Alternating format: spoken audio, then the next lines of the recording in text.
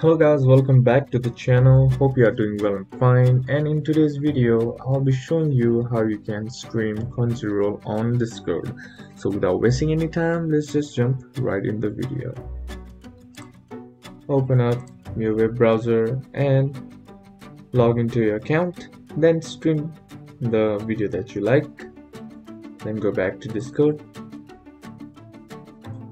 Once you're here, all you gotta do is click on this your screen icon right at the bottom just click on it and then you'll have the option like this too from Dr. Stone it's from my browser tab just I'll just select this and then we can do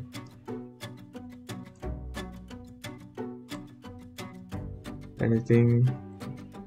You can change the settings according to your preferences and click on go live. And as you can see here you are streaming. And here you can see it's streaming right here. And that's it for today's video guys. Hope this video was useful to you. If you like if you did. Comment down below what the next video should be on.